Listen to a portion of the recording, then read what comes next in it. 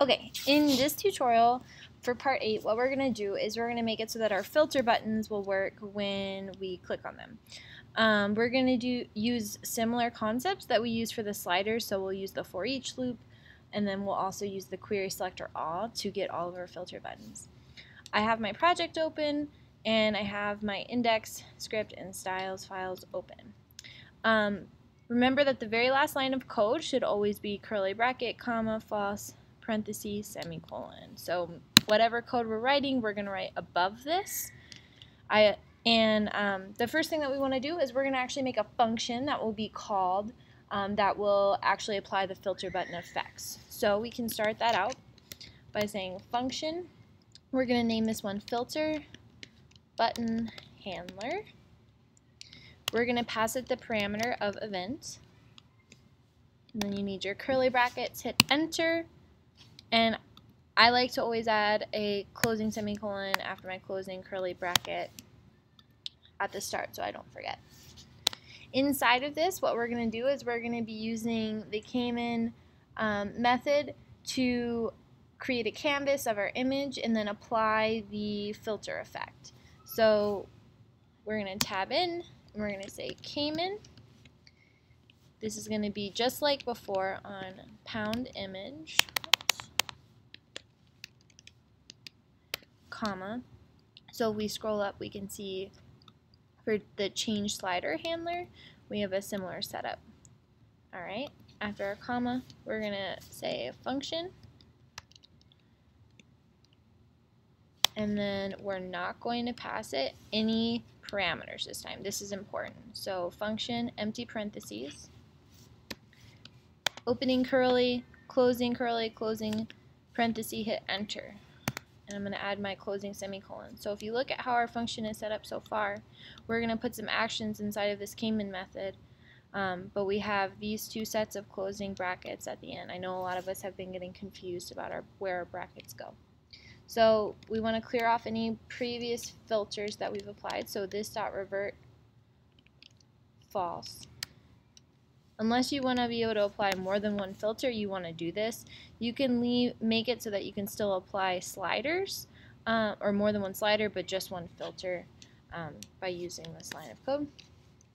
And then we actually want to apply the filter effect. So there are built-in filters for Caman, and these built-in filters, the names of the filters actually match the IDs that we gave for each of our filter button. So um, we're going to use some code, but essentially what this is going to say is this vintage render, and it's going to render the vintage filter that's built in.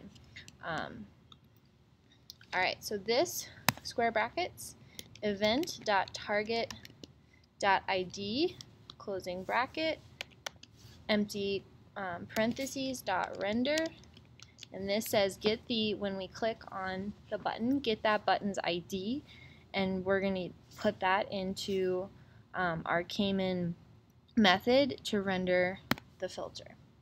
Alright, closing semicolon. And we want to go ahead and save this work. And this is going to be our filter button handler function that will apply built-in filters using the Caman API. Alright, the next thing we need to do, step two, is we're actually going to use a query selector to get all of the filter buttons and store them in an array.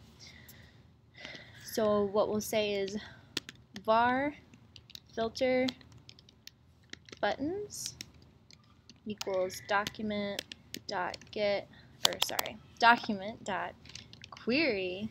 I'm just so used to using get element by ID query selector all we're going to get them all by the class of filter because each of the filter buttons has a class of filter. So um, quotation marks dot filter and it will search our HTML document to find every um, HTML element that has this dot filter class. So if we come back to our HTML, we can see that the class is set to filter for our four filter buttons. And S to save the change. Alright, and then the next thing that we're going to do is we're going to use a for each loop to apply the filter button handler function whenever a filter button is clicked. So this is going to look similar to our for each loop that we did for the slider effects. However, instead of range dot on change, or for us it would be filter buttons dot on change, we're going to say filter buttons dot on click, and we'll call our change or our filter button handler function. All right, so we will say filter buttons dot for each function, and then we'll say filter button and then we need our opening curly, closing, curly, closing parentheses. I've hit enter. I'm going to go ahead and add my semicolon. And then inside of this function, what we're going to say is filter button.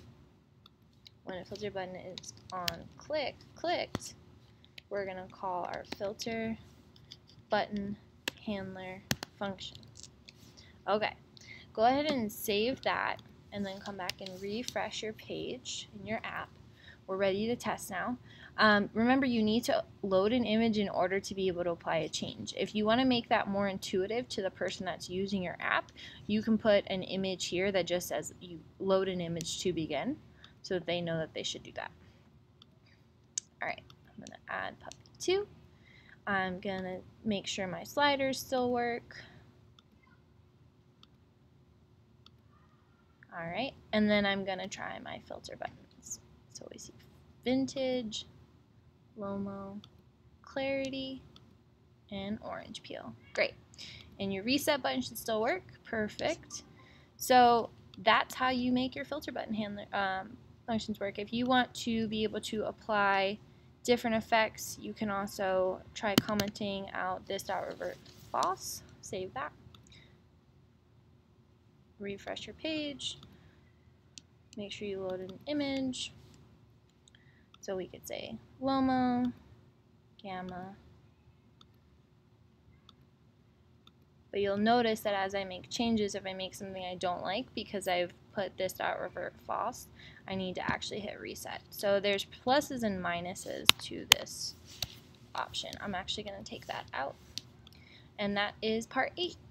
Uh, remember that if you need to debug, you right click, click inspect, and then you want to go to console to find bugs and it will tell you which line it's on and then you can start debugging in your text editor.